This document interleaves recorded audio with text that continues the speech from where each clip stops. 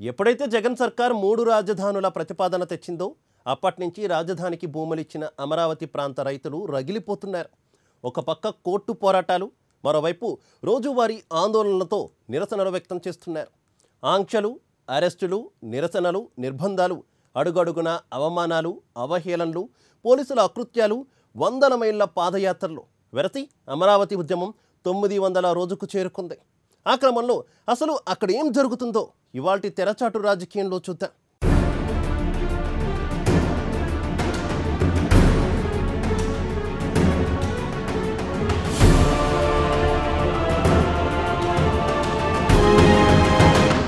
అమరావతి ఉద్యమం మొదలై తొమ్మిది వందల రోజులు పూర్తయింది. రాష్ట్ర చరిత్రలో సుదీర్ఘకాలం సాగిన ప్రజా ఉద్యమం ఇదే.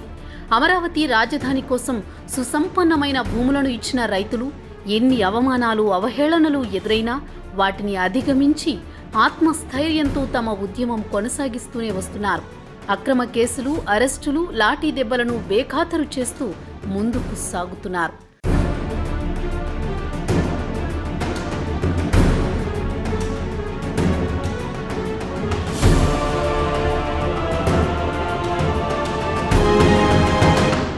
ఒకవైపు ఉద్యమ ఉధృతిని కొనసాగిస్తూనే న్యాయ పోరాటం చేస్తూ వస్తున్నారు. ఆ క్రమంలో ప్రభుత్వ ఆంక్షలు అరెస్టులు నిరసనలు నిర్బంధాలు అడుగడుగున అవమానాలు అవహేళనలు పోలీసుల ఆకృత్యాలు వందల మైళ్ళ పాదయాత్రలు వెరసి అమరావతి ఉద్యమం నేటికి తొమ్మిది వందలవ రోజుకు చేరుకుంది. జయాపజయాలతో నిమిత్తం లేని ఉద్యమంగా చరిత్రకెక్కింది. ప్రభుత్వ మూడు ముక్కలాటలో సమిదలుగా మారిన రాజధాని రైతులు కూలీలు బడుగు బలహీన వర్గాలు మహిళలంతా ఒక్కటై నడిచిన ఈ పోరాటం సుదీర్ఘ ప్రజా ఉద్యమంగా నిలిచిపోనుంది.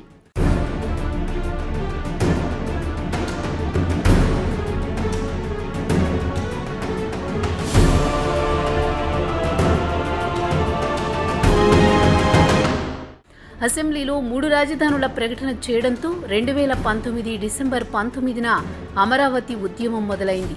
ఎన్నో కష్టనష్టాల కోర్చి కరోనా కాలాన్ని అధిగమించి తొమ్మిది వందలవ రోజుకు చేరుకుంది. రాజధాని గ్రామాల్లోని వేలాది మంది రైతులు మహిళలతో మొదలైన ఈ పోరాటం అలుపెరుగక ఇంకా కొనసాగుతూనే ఉంది.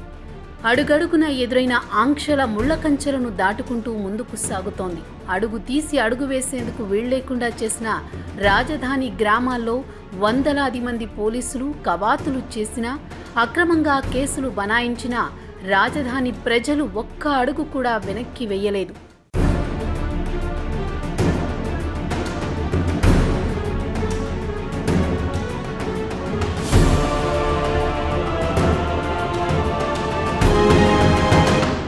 అలుపెరగని వారి పోరాటాన్ని అడ్డుకునేందుకు ప్రభుత్వం చెయ్యని ప్రయత్నం అంటూ లేదు.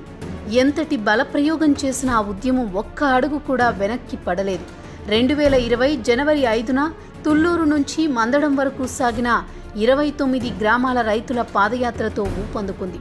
దుర్గమ్మకు ముడుపులు చెల్లించేందుకు బయలుదేరిన మహిళలను ప్రకాశం బ్యారేజ్ వద్ద పోలీసులు అడ్డుకుని లాఠీ చార్జ్ చేశారు. దీంతో జనవరి ఏడున రైతులు మహిళలంతా కలిసి హైవే దిగ్బంధించారు.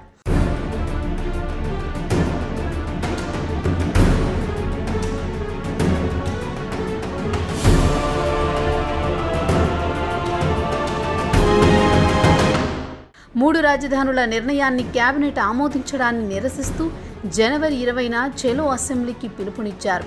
ఉద్యమాన్ని నీరుగార్చాలనే లక్ష్యంతో అప్పటి జిల్లా ఎస్పీ నేతృత్వంలో మహిళలపై దాడులు చేయించారు. దీనిని హైకోర్టు సుమోటోగా విచారణ చేపట్టింది. ఆ తర్వాత అనంతవరం కొండ వద్దకు పాదయాత్ర ఇరవై తొమ్మిది గ్రామాల్లో బైక్ ర్యాలీ కోటప్ప కొండకు ర్యాలీ నిర్వహించి ఉద్యమాన్ని మరో అడుగు ముందుకు వేయించారు.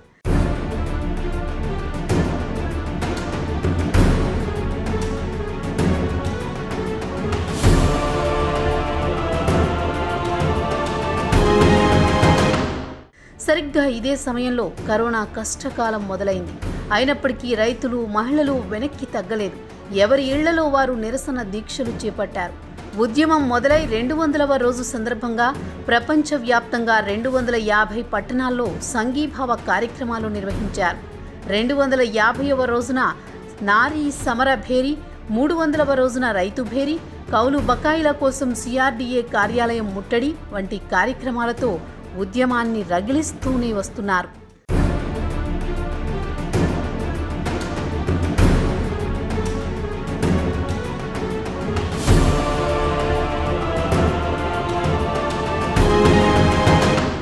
రెండు వేల ఇరవై అక్టోబర్ ముప్పై ఒకటిన జైల్ భరో కార్యక్రమంలో పెద్ద సంఖ్యలో రైతులు అరెస్టయ్యారు అదే ఏడాది డిసెంబర్ పన్నెండున చావో రేవో కార్యక్రమం డిసెంబర్ పదిహేనున విజయవాడలో రైతు పాదయాత్ర నిర్వహించారు.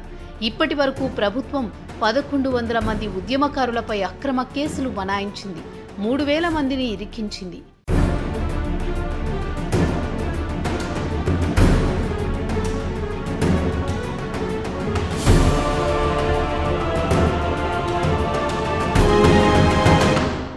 ఉద్యమాన్ని మరింత ఉధృతం చేసేందుకు రాజధాని రైతులు మహిళలు దళితులు న్యాయస్థానం టు దేవస్థానం పేరిట హైకోర్టు నుంచి అనుమతి తీసుకుని తిరుపతికి సుదీర్ఘ పాదయాత్రకు శ్రీకారం చుట్టారు.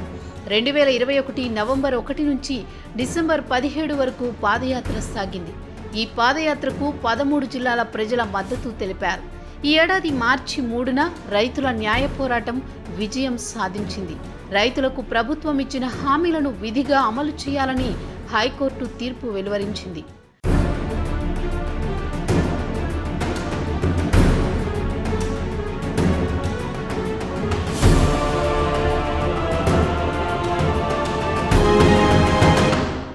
అయినా జగన్ సర్కార్ హైకోర్టు తీర్పును ధిక్కరిస్తున్నట్లు ప్రవర్తిస్తోంది. రాజధానుల విషయం ప్రభుత్వ నిర్ణయం అంటూ ప్రకటిస్తున్న ముఖ్యమంత్రి మూడు రాజధానుల దిశగా తమ కార్యాచరణ ఉంటుందని ప్రకటించారు. హైకోర్టు ఉత్తర్వులను కూడా ప్రభుత్వం పెడచెవిన పెట్టడంతో రైతులు బిల్డ్ అమరావతి సేవ్ ఆంధ్రప్రదేశ్ ఉద్యమాన్ని కొనసాగిస్తున్నారు.